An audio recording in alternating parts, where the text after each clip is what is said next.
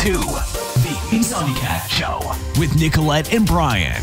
We'll get real deep with you, educating, inspiring, and solving problems with some of the most inspirational humans on the planet. Buckle up and come on the journey. I'm excited. All right, guys, I'm Nicolette, and today Brian and I are here with exercise physiologist Phung Tran, and she's going to talk to us today a little bit about um, the social media age and uh, what we're seeing on the internet versus what's really what people really look like. so, thank you so much for joining us today. We really appreciate your time. Oh, thank you both. So, so tell us a little bit about your journey to exercise physiology. How, how did this happen for you? And I mean, it's all started in probably high school, you know, when, you know, you were going through puberty and then I myself ballooned up and then I felt bad about myself, you know, just constantly, you know, looking at myself and, you know, my peers at school. And so obviously like every other young person, I would go on the internet to find out how to fix it. And so, um, you know, I would go on Google, see a bunch of random tips that like doesn't really work for myself like mm-hmm. or mm-hmm. it's like pictures of models that you know look very good so at that time it was um, i think it was the thinny skinny um, type that was going on and now it's probably like the opposite it's a curvy type but it was thinny back then and i was like well i needed that and the thing is that I found that the tips are pretty unhelpful in a way, and you know that's pretty extreme. Like for me, if like you pronounce my name, you know that I'm Asian, and so one of the tips that I remember the most is like you shouldn't be eating rice because if, if you eat rice, you cannot be living healthy. And I'm like, that's not possible. You know, like for me, like I was a kid mm-hmm. too, so like I can't just go to my mom and be like, uh, you know what, I'm gonna eat salads from now and, and watch her go. You know, like that wouldn't happen. And so I'm like, oh wow, so it didn't work. None of it worked. And so I'm like, okay, when I go to college, I'm like, let's do something about this mm-hmm. thing. And um, you know, looked around, got some counselors, and they just like, oh, we have a thing called exercise science at this school. and then like oh amazing. So i know how to exercise how to eat how to work out and all that stuff. And it just basically you know provide that knowledge to change you know my routine. Because like oh wow it's not only just about you know what moves you should be having but it's you know about the anatomy the physiology of things that's happening when you go from like not working out to like going out for a bit or like even more like what's happening and also how to make yourself working out because there's some psychology behind it. And you know it's easier to make like the process to understand the process so that you can slowly integrate exercise into your life like normal and then how to eat right you know just basic nutrition. And um so yeah so i you know i got it like i've lost 25 pounds mm. in two years it's not like oh you know like it's not right. crazy like it's because right. i was you know testing out the theories and seeing how it works but yeah i got there and you know i sustained the, the change like i haven't gained back the weight right. i think that's the biggest uh thing like a lot of people you know would say oh we can lose double digit in 30 days and within another 30 days you're going to gain back all the stuff that you mm-hmm. lost and so like okay and you know i help out a bunch of friends and now you know, with the pandemic happening and people were just struggling how to work out, you know, like because you cannot go to the gym. I mean, maybe now you can, but like before you mm-hmm. couldn't, and right. or they were just looking to like balance their life from like studying, working from home to, you know, working out, all that stuff. So I'm like, let's just start like an Instagram account so that I can like debunking myths about stuff, looking about, you know, body images, mm-hmm. like show them that, you know, like they look beautiful. They just, you know, maybe uh, work a little bit more to get to the healthy point. Right. So okay, so what's the most bizarre thing you've actually seen someone say they could do to lose weight or get fit? That's just like out, totally out of out of the you know out, crazy. Crazy. The craziest thing is probably um, uh, you know, just drinking smoothies, like smoothie. Like, calories are calories. I hate to tell you whether you're drinking them or eating them. Yeah, and yeah, they would. Or one other thing is that you should um you shouldn't be eating uh, fruits after a meal because of volatile vitamins. And I'm like, if vitamins are that volatile, there's gonna be volatile all the time. Like how how is this gonna be like just after you eating a meal? It's before the meal is gonna be bad. During the meal is gonna be bad. Even after. So like I don't even get those things. well, you know, you mentioned the psychology, right? Mm-hmm. So how, I mean, how much does psychology, obviously, you know, motivation wise, how much does psychology really, you know, play a role in exercise and fitness and, and how you can actually achieve, you know, how, how, how much weight does it really hold? It's probably um, quite a lot in my case and a lot of my clients' case because we're uh, primarily women. And so we're motivate, you know, like at the beginning of course by you know how society looks at us how we perceive ourselves like just basically our image our body image. And so working like with my clients i would work with their um, psychology first and then how they perceive themselves. Like how you know is your motivation inside like coming from inside of you that you want to look better? Or is it from outside that you're afraid that people are looking at you and you don't look good enough Right. And so psychology is a huge part for yeah for us. Do you think? I'm, I'm sorry. How does that determine your path then? Like, let's say it's internal versus, let's say it's me. I want to change on the inside versus, you know, afraid of external. Like, how does that change your path when you work with clients? Uh, because if you're like coming from inside of you, you're more able to gonna be keep doing and sustaining it because you aren't like you know you are the only constant part. You're the only person who can control yourself. So mm-hmm. if it's coming from within you're like okay i've been working out but i like it because of this because of this. Like for me it goes from like you know my body image to my health and now just because i liked it i just you know like one of those crazy people who just like do random things and i love it. I don't need any other people to be looking at me and start like, oh wow, you know, come even complimenting like, wow, Phung, you're working out a lot. Like I don't need any of that. I just go because it's for me. Like that selfish person. Like I just love it. I don't care about what you think. Uh, do you think do you think a lot of people because I, I, say this all the time right? There is like just going to the gym and working out like lifting weights like this is not functional strength right? It may make you look good it's sort of like almost like plastic surgery. Like it makes you right? It makes you look good.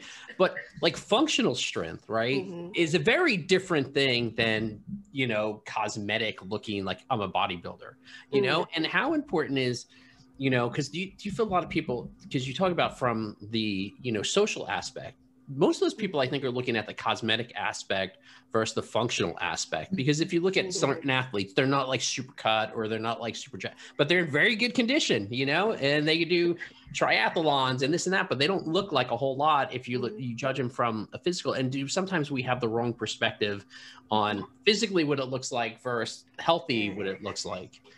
That's definitely because in fitness we have actually two two different types of strength training and one is like just pure strength training for you know looks but there's also what's called conditioning mm-hmm. and usually i would you know just merge people into conditioning because obviously you're still doing similar things like the strength right. people just the difference are very minute like subtle Mm-hmm. And then, but the end result is, you know, you're getting stronger where you need to. And then right. the balance, like you don't have, you know, like huge chest and like right. skinny, like skinny legs. My husband was just looking at someone on the corner the other day. He's like, look at that guy. He's like, you know, maybe on some steroids. I don't know. And he's really big. He's like, look at his legs. His yeah. legs were smaller than mine. They were thinner. They were like toothpicks. Yeah. yeah, yeah the, the, the, the, don't skip leg days it's coming around. Yeah yeah. hard. your your your calves should not be skinnier than your forearms. I mean that's just a so pretty straight a pretty straight concept right? Yeah. yeah. And i mean even when you look at magazines or online you know people are training to look that way. I mean i hmm. remember just the latest interview between anthony uh, mackie and you know trevor noah about him. Like he took four months to get in shape for that role. Right and he doesn't look that way all year round. And mm-hmm. the problem is, we we as normal people, we're like, oh, we gotta look like that twelve months of the yeah. week. And that's year.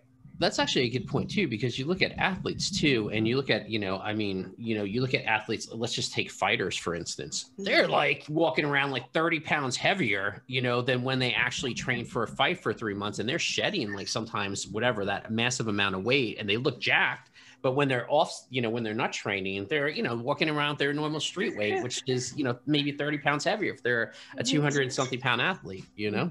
So yeah so our bodies are like cars. You cannot just like run at top speed Right. every single time. yeah yeah it's true and that's where i think to your point where the the mental piece doing it from within becomes the thing because wanting to do it or having some goal even you know to focus on plays so much into wanting to get up and go and work out or you know run or whatever it is you're doing Mm-hmm. No, how would you say? I mean, I, I believe social media is just so destructive for many reasons, but I, I think you know, especially when it comes to comparing and and in this sense, the physical, you know, um, you know, what do you think that's done to self confidence, to com- you know, confidence and body image, you know, over the past years? Pretty negative, I would say. Like I would, you know, for myself, I have an example. Like I l- recently got like one of my IG reels to go viral. Like, you know, it's Mhm. got like 600 100 likes. Like I usually got 30.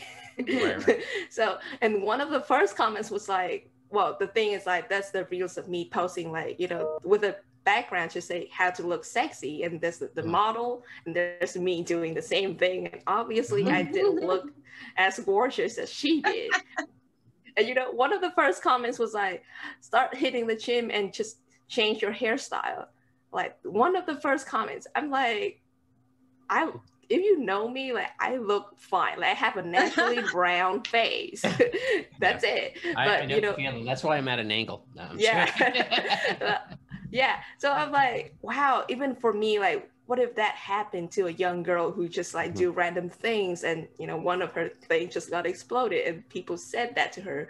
Or even one of my first exercises with my clients actually would tell them to go on instagram and then find pictures of people that they want to look like and then we'll just look at the background we'll look at the Mhm. lightning and see if they manipulated and usually Right. like nine times out of ten they did Right. Yeah. Oh, absolutely. I think you know how like when you go on a site and it says like you know there's an ad and it says advertisement. Like we need to start doing that on social media, like filtered. You know, like if Yeah. a photo is filtered, like add add a little caveat there and let people know because That's it's a great idea, right? crazy. It's great. You know, especially the ones Right.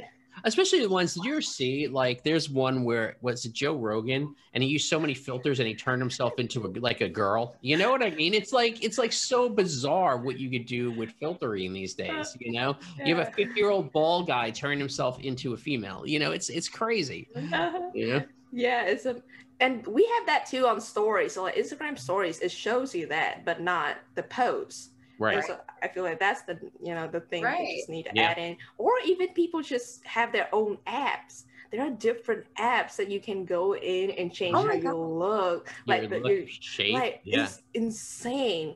Yeah. But like it would change the background. And so a lot of people, you know, you would have like just this blank background, or you can see like the tiles is curvy or the same curvy. It's so funny to look at. yeah yeah bad So how much of sorry, Brian. No i was just saying bad photoshop So how much of what we're seeing from influencers is really Photoshop then? Like are who who's real out there then in the social media realm?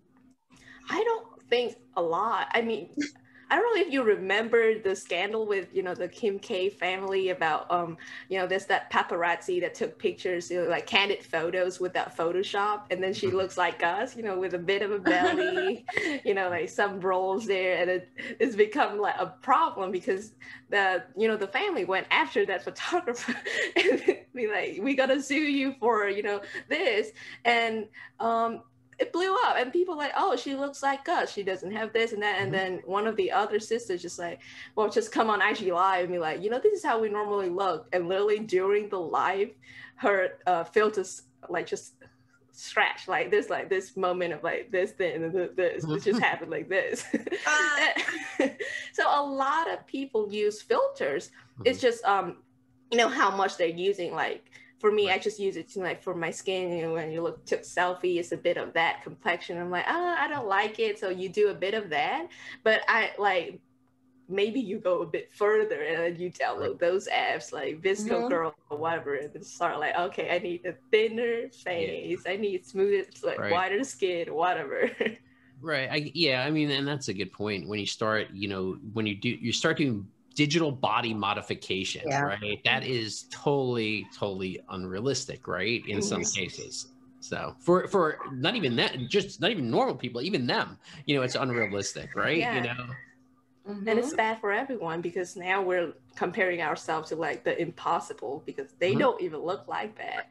right, right. And how could you even get close? And you know, and I'm sure, like you know, you pointed this out earlier. You know, for for especially for younger people, you know, that could be really tough. You know, if you just don't have genetics or you maybe don't have access to gyms or things like that or you know wh- whatever the case is so you know that's that that could be really rough on younger people seeing these things Yeah. So then, Phung, how do you work with your clients? You know, what are some of the, the things that you'll do? You mentioned the initial psychology part. You know, what comes next? What are what are some of the things that you do to help people become more active and and physically?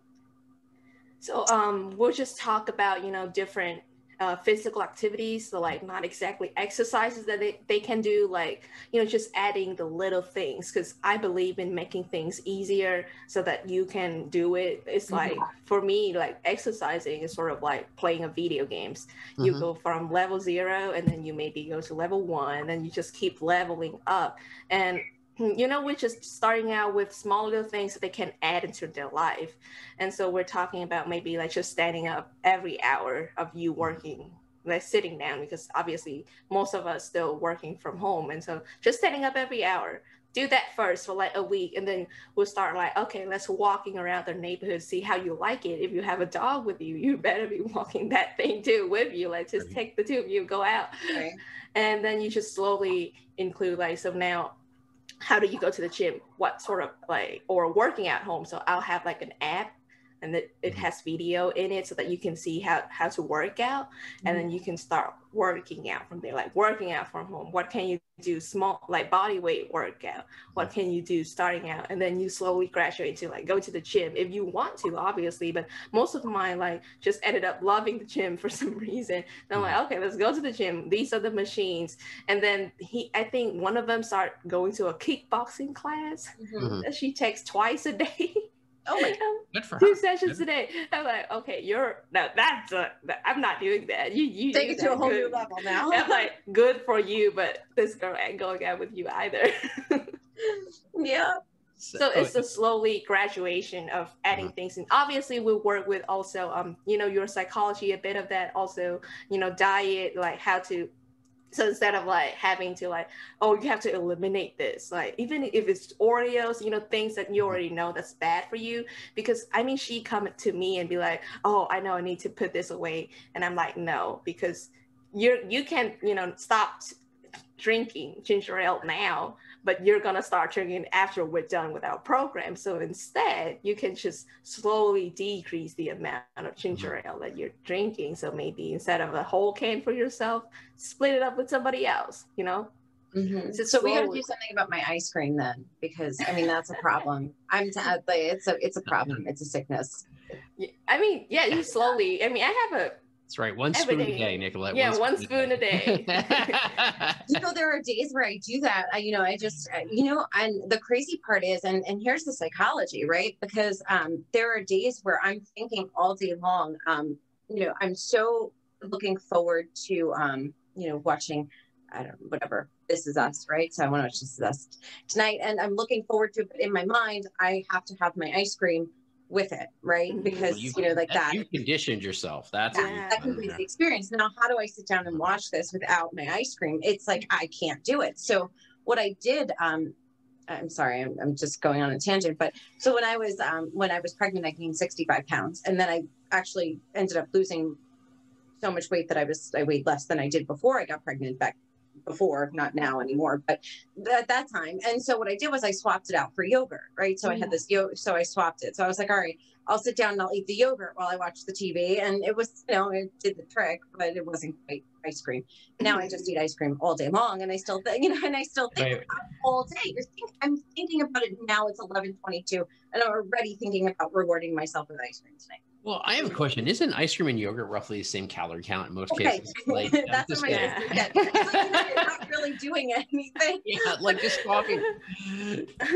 Well, but you know, I what? mean- here's the the ice cream, I'll eat a lot of it. And the Mm. yogurt, I wouldn't. I would just have the cup of yogurt, you know, and the Okay. ice cream. right. Fair, fair enough. Fair enough. So yeah, you like Brian said, you condition yourself, like positive conditioning yourself to reward yourself with that. Mhm. But you can think like what other um, ways you can. I mean, you don't have to. Do you have to eat the whole ice cream by yourself, or are you watching, you know, your show with somebody else? Well, I am. My son is now. I've put him onto ice cream. He does like ice cream now as well. And now, at, Mom, is it ice cream time? I'm like, yes, it's ice so cream. I mean, one of the first things is like buying the smaller portion, like you know, the single Mm. size Mhm. things, and then you two can split it up. yeah. Mm. You you know, go. mother and son So- bonding time is still ice cream, Okay. and then you can fight over that. Okay, instead this- of this watching brings- the show. So this brings up a question I wanted to ask when you're talking about people and walking their dogs, even right? A lot of Mhm. times when you see out of shape people, usually their dogs are out of shape too, right? Okay, let's let's be honest. Their dogs are like little sausages. They're not like dog shaped anymore. You know, they're like a sausage with four legs. But here's the thing. Now back to sort of back to Nicolette's point. Now she's conditioning her son, and not that they're out of shape. So I'm not implying that. But what happens is if you're not leading a healthy lifestyle, whether it's eating or whether it's getting exercise, how do you pass that on, whether it's to your dog or to your children, right? Or to the people around you, you Mhm. know? So if, if someone's not starting it, you pass on sort of that bad conditioning piece, right? Mhm.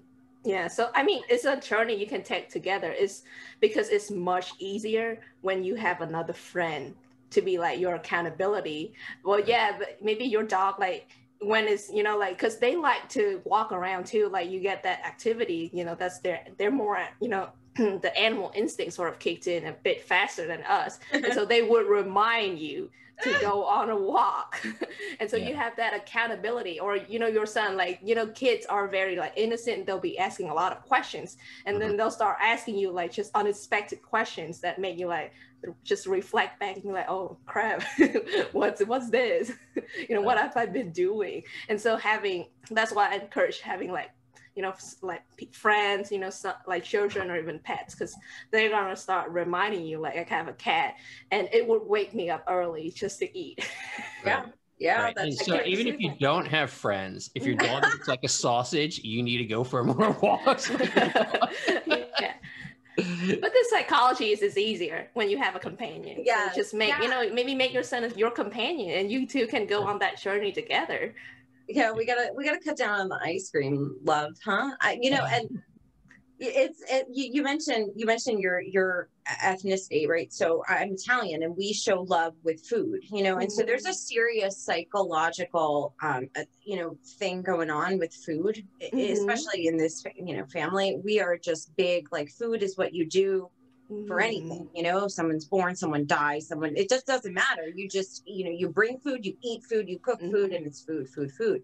So it's it's a very big part of of life. And and i can see where you know um, having a, a husband who's irish who doesn't eat anything um, uh, sorry irish people but he doesn't eat anything right? Um, you know it's it's difficult because i i everything is like a big um, you know event around dinner or a meal and he could just eat a quick salad and call it a day there's no Wow. psychological attachment there you know and that's what i've seen him have so much success in eating healthy because he's not psychologically attached to pasta or whatever you know having having meals and making a big meal on a sunday it's like Mhm. i eat to nourish myself and that's Mhm. about it you know i mean Mhm. so i can see you know i really really agree with that psychology aspect Well, I think you know, you, it's the way you're viewing food, right? So you're viewing food as comfort versus most people, because I'm the same way. I view food as just energy, right? It's Right. energy. So I need to feed my body whatever fuel it is, you mm-hmm. know, and hopefully it's the healthy type of fuel, but whatever fuel it is to actually do what it needs to do versus going, mm-hmm. Oh, you know, and don't get me wrong, we all indulge sometimes, you know, but you know, it's it's fuel. That's I think what you need to think about. And if you put a whole bunch of crappy fuel in your car, it's gonna quickly become mm. pretty crappy, right? Versus Yeah. using good fuel, it's gonna it's gonna run much better.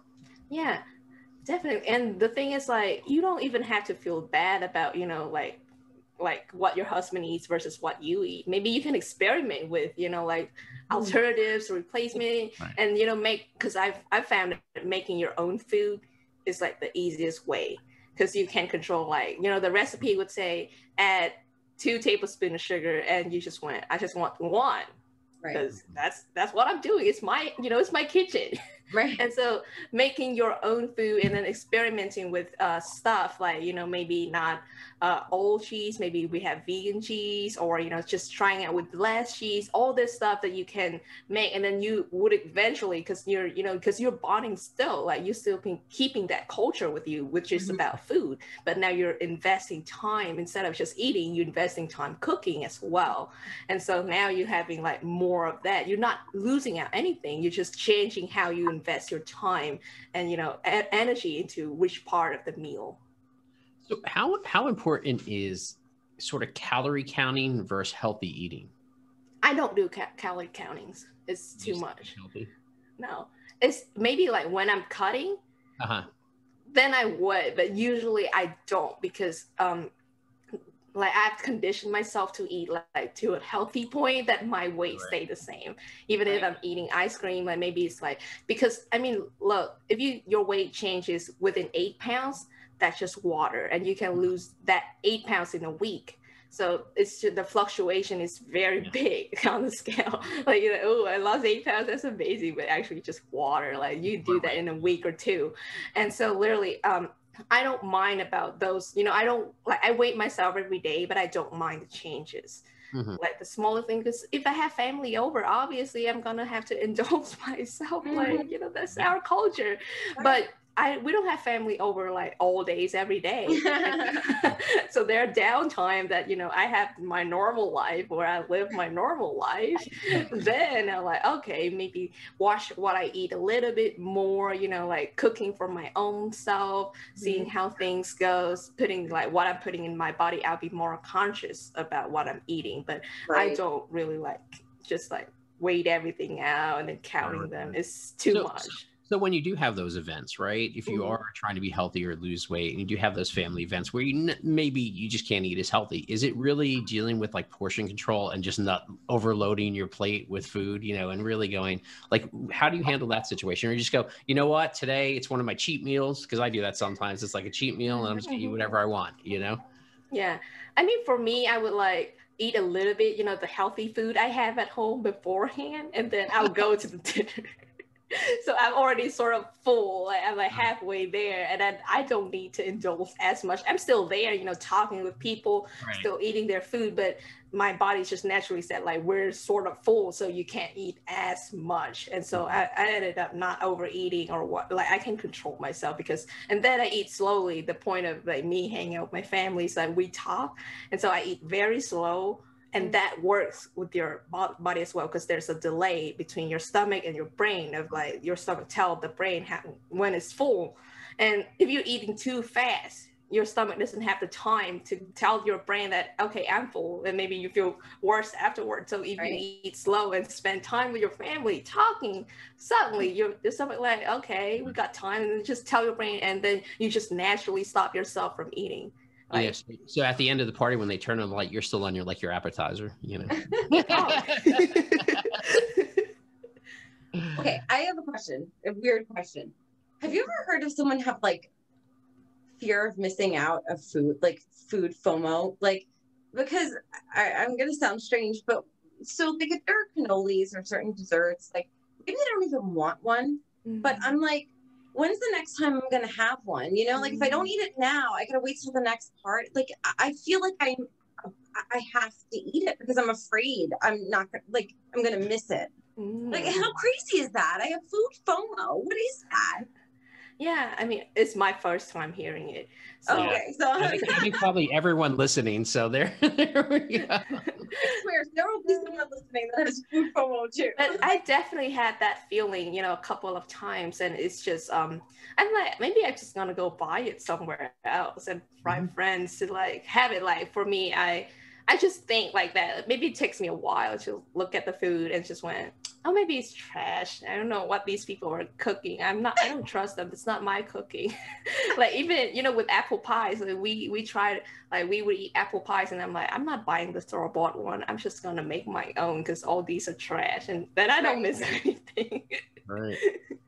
Yeah. Okay, so, like, uh, incorporate It's not like it's not like you're at the supermarket. You're at the supermarket. If you want a cannoli, you just buy the cannoli. Like, no, but like how often do you go get a cannoli? I just, you know, I just I'm like, oh my god, there's a whole box. I gotta eat one. I have to eat one, or else the girl's gonna be gone. You know. Well, or is it because they're all going to be gone, or because you don't know when you're going to see one? Both. Now you said two different things. Oh, okay. I, Wait, I better get this I- I- cannoli I- before Aunt Susie eats all the cannoli.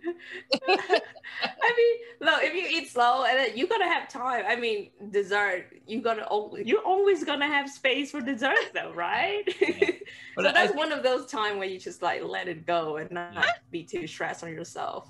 Or, or like make, because the thing is like you don't make it a negative experience. Uh-huh. You got to Oh. put the cannoli in your purse, Nicola, and take it home with you. Yeah. home, right? TV show. You just have a to-go thing. That's You know, right. You, You bring know- your own to-go box to you the want to party. know something though? I don't bring anything. I don't bring um like once I'm done with a party, right? And I've now just stuffed myself full and I'm in a food coma and you know, I I, I walk out and like that's it. I will not take home the sweets or the best you know, like I, I I I indulge a lot. I'll eat enough for about five people. But then when I get home, that, that's about it. Like I'm not taking that stuff home with me to eat it at home now. I, you know, like I'll do it there mm-hmm. and then that's it. You know? I don't know. I think if you took the cannoli, you would you would not have the yeah. Maybe just start bringing in like your two little boxes. I, I do that all the times with dessert because I'm like, I just have like a little cup and then just like spoon some. And then I'm like, okay, that's it. I have some, but not a whole lot. the. That's like to your son. Open your pocket. I'm going to put this yeah. scoop in. so you don't miss out anything. we'll eat it with the ice cream later. The ice cream. It has like lint on it from being in your pocket. You know? and then be like, oh, wow, now it's, it's trash now. So we got to throw it away. Yeah, Uh, I am probably uh, probably the craziest person you've uh, you had to deal with in terms of food psychology. oh, man. I've got serious issues. well, oh my goodness. All right, so tell us your best advice for someone who um, feels not good enough about the way they look right now. What do you say to them? start small literally like so obviously stop comparing yourself to other people. We can work on that but start small like take do the things that you know you can do today. Like when you set your goals set goals that you know you can do. Like it's a little bit hard but you still can do it. So instead of like i'm gonna lose 30 pounds you can start with you know i'm gonna cut Oreos. So instead of eating the whole pack, maybe I'm just eating three pieces. Mhm. those are the things that you obviously can do and you start small and then you can see the benefits of it kicking in. You can see like just the positive feedback you know because when you cut off like less sugar your skin's going to look a little better and you're like oh wow i want one more of that. I want more of this. Mm-hmm. And you can naturally just do the right thing and you, you can relearn the lo- right things. But if you start too big and start just like cutting cold turkey everything you're not going to be able to accomplish anything because like after that initial motivation you're just going to lose it and so when you start small you can build that discipline of yourself of keep moving forward All right. So, Phung, tell us where we can learn more about you, uh, the work you're doing, where we can get inspired, and uh, anything else you want to tell us about. So yeah, I have a website. It's called uh, beactiveiseasy.com that you can go on, read my blog. I, I post it bi-weekly about, you know, like I go in depth uh, into the topics, but um, also I have a free checklist. So if you want like the habit forming checklist, that's something that I made that you can do, like start small and then keep going. You can, is it's also on my website. But if you just want fun things, you know, um, reels and stuff, then go on my Instagram at Be Active is Easy as well, where you know I post fun things about me, memes, and then my cat, how we work out together, how she's mad at me for like she kicked me on the floor or whatever. Um, you can yeah, you can go and find out more about that on Instagram, and um, you know that's all my channels really. Awesome. Well, thank you so much. This is a lot of fun. We really appreciate you coming on and talking with us Thank and listening both to for my crazy, me. crazy food habits. Thank you. No, it's it's fine. It's not crazy. That's how you think about it. See, you're afraid of people judging now. Yeah, I am right. right. That's right. She she needs to put some filters on this podcast. Listen, don't even get me started about my short sleeves. Listen, this thing right here, I got to tell you, not loving it. And as I'm getting older, it's just getting lower. Thanks again, Phung. We really appreciate it. All right. Thank you. It's a pleasure meeting you.